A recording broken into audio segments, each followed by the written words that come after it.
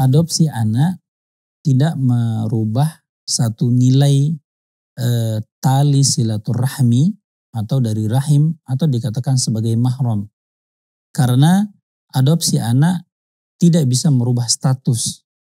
Maka bagi anak yang diadopsi ketika dia wanita, maka walinya tetap adalah walinya orang tuanya atau orang-orang yang berhak menjadi walinya. Tidak bisa kemudian pindah menjadi wali asuhnya atau bapak angkatnya. Maka secara hukum tidak boleh. Yang berhak untuk menikahkan adalah orang tuanya. Adalah anak kandungnya jika ada. Atau abangnya. Jadi orang-orang yang berhak untuk menikahkan walinya maka dialah walinya.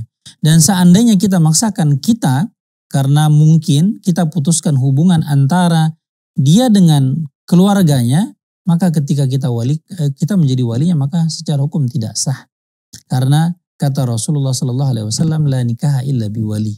Sesungguhnya tidak sah pernikahan itu kecuali dengan wali dan wali itu berdasarkan ketentuan. Allah taala